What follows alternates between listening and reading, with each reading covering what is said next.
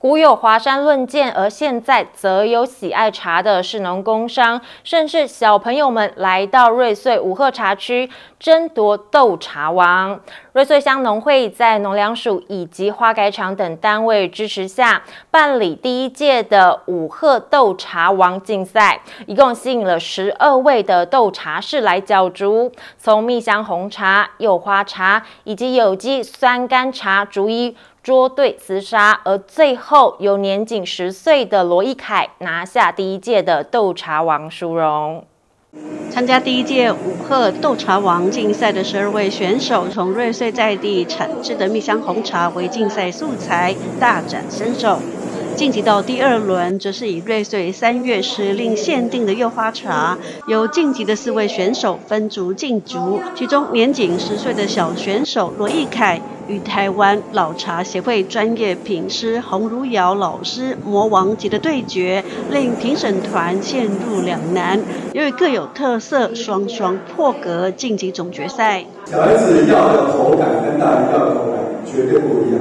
我有跟理事长讲过。我们在推动茶的文化，我们要影响两种人。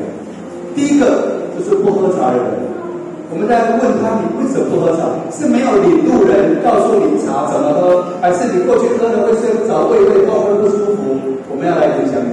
再来跟年轻人，年轻人愿意出来泡茶，尤其这么小的小朋友愿意出来泡茶，我们要更加的鼓励他，更更加开心。最后总决赛，面对鲜少接触有机酸甘茶的三位斗茶师们，只能各凭功夫使出浑身解数。泡出的茶品，除了斗茶师们盲测自评，也由专业评审盲测评评给分。由于竞赛水准品质不相上下，经过一番讨论，最后由年仅十岁的罗义凯打败群雄，拿下第一届的斗茶王殊荣。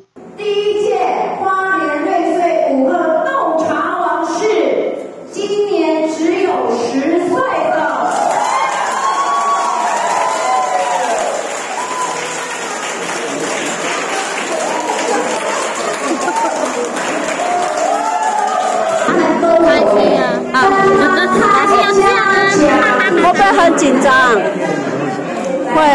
届五鹤斗茶王由小将罗义凯拿下，全场也报以热烈掌声肯定。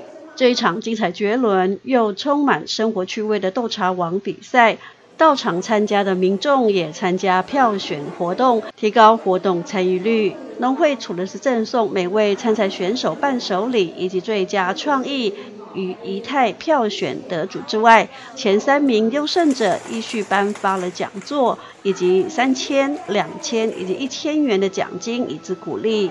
记者石玉兰瑞士采访报道。